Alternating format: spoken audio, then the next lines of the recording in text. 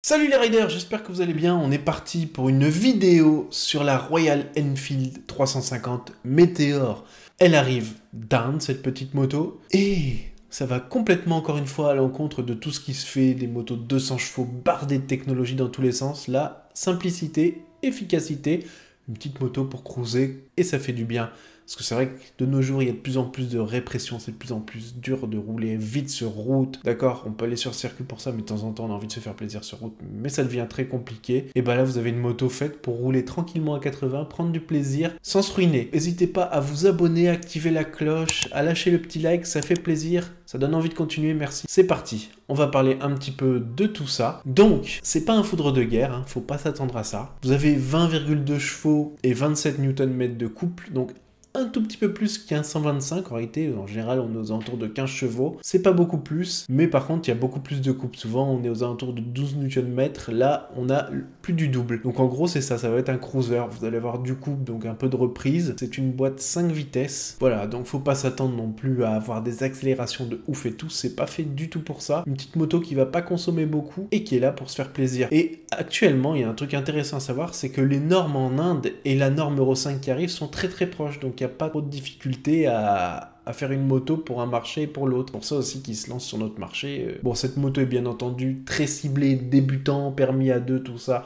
Ceux qui débutent et qui ont envie de, bah, de rouler tranquille et de se faire plaisir avec une moto plutôt sympathique, dans un esprit un petit peu custom. Vous aurez trois versions de cette moto et sept coloris. Donc la version Fireball, version Stellar et Supernova. Ouais, bon, euh, Supernova c'est un peu pompeux, mais d'accord.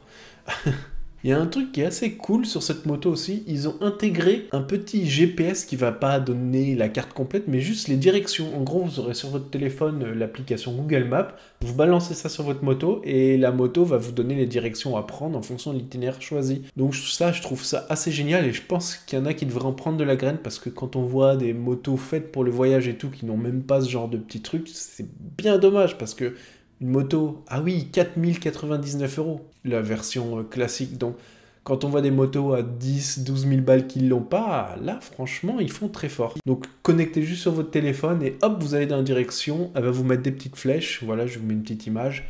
Ça, franchement, très très bon point. Un réservoir de. Il y a un petit réservoir, un gros réservoir plutôt, de 15 litres dessus, qui va apporter une bonne autonomie, parce que c'est une moto qui va vraiment pas consommer grand chose. C'est vraiment ça. Ça peut être une moto d'appoint pour ceux qui aiment les gros trucs bardés de technologie.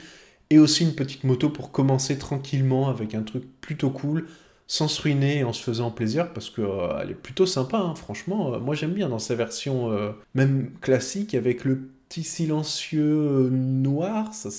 le tout est plutôt bien foutu. Bon, par contre, un peu lourde, 191 kg avec le plein. C'est quand même assez lourd pour une moto de cette gamme-là, mais bon, ça on n'a pas envie d'un foudre de guerre, donc c'est pas non plus ultra important. Du moment qu'elle reste assez maniable et facile à emmener en ville et sur les petites routes. Voilà, N'hésitez pas à vous abonner, à liker, à partager que ça, c'est très très important. Moi, ça me soutient et ça me donne envie de continuer tout ça. Merci à vous, je vous fais des bisous, ciao, à la prochaine les riders.